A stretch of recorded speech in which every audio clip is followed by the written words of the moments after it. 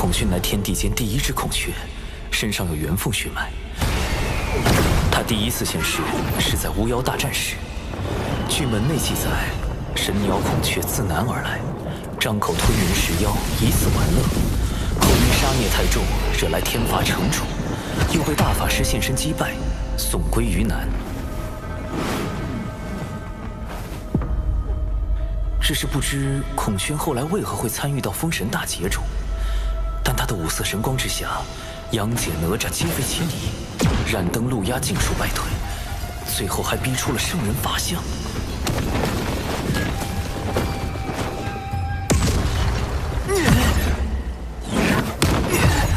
这实力完全就是三教大师兄级别的。三教大师兄。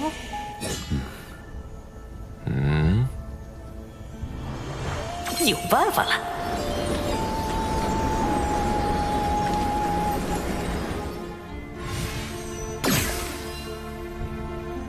玄都小法师，刚刚传音给我的不是长寿师兄吗？高人在上，今日万万不可轻举妄动。若我推测不错，这位高人是天地间有数的大能。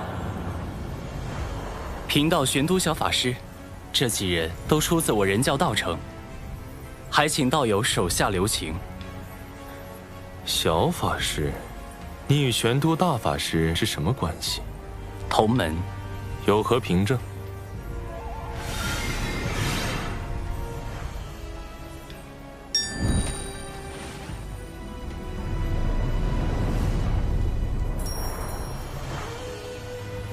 他近来还好吗？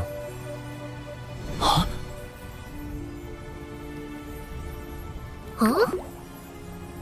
你所猜不错，本座便是孔宣。前些时日，本座这侄儿血脉暴走，神智失守。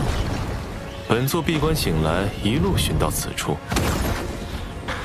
他应已吃了一些人族，说个数量，本座去救了人，再来与你交谈。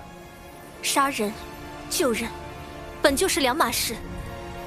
昔日本座亦曾吞噬十万人族，又如何？其后妖族为练陆无剑，欲灭绝人族，本座出手护住百万人族，偿还了因果。业障功德即可抵消，杀人救人为何不可护抵？所杀所救，可是一人？天数昭昭。增减护底。所谓吞食者，哎，薰雅，少说两句。